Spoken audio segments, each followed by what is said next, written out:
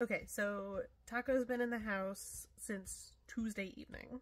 So we've really just had two full days together. In the vast majority of those two days has sounded like this.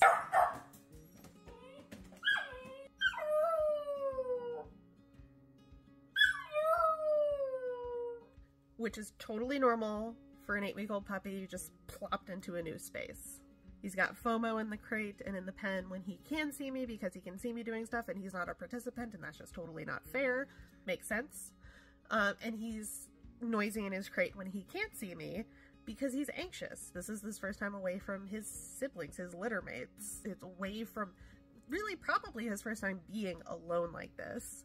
They might have done a little bit of training like that where they were doing the, the litter raising. In fact, they probably did, but it doesn't always translate to the new house, not immediately anyway. And it's a new space. He doesn't know me, he doesn't know where he is, he doesn't know any of this stuff. So even if he had been taught that, being away from everything that he's ever known his entire life is going to add to that anxiety, which means he's going to be more likely to be barky anyway.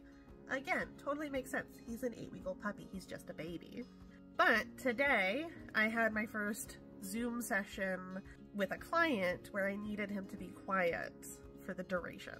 So what I did to set him up for success and set myself up for success with my Zoom session is I gave him his entire breakfast spread out and smushed into a lick mat. We took a potty break immediately before the lesson started and I put him in his crate in my room where he could still see me with his lick mat, with a chew toy, and with a nice comfy blanket.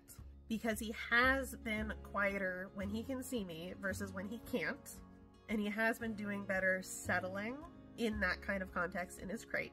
And I wanted to put thoughts of settling in his mind by giving him the lick mat, which is going to help him self-soothe in those initial first few minutes where he's more likely to be barky. So during the lesson, he ate all his breakfast off the lick mat and then took a nap.